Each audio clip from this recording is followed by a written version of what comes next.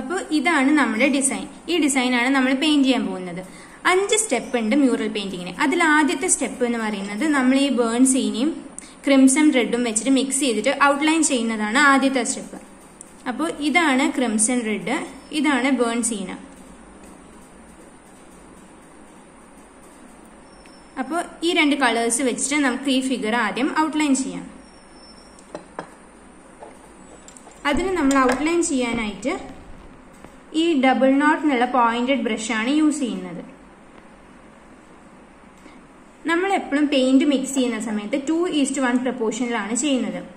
To is to one proportion എന്ന് പറയുമ്പോൾ two portion റെഡും വൺ പോർഷൻ ഈ ബേൺ സീനിയും വെച്ചിട്ടാണ് നമ്മൾ ആദ്യത്തെ സ്റ്റെപ്പായ ഈ ഫിഗർ ഔട്ട്ലൈൻ ചെയ്യാൻ പോകുന്നത്.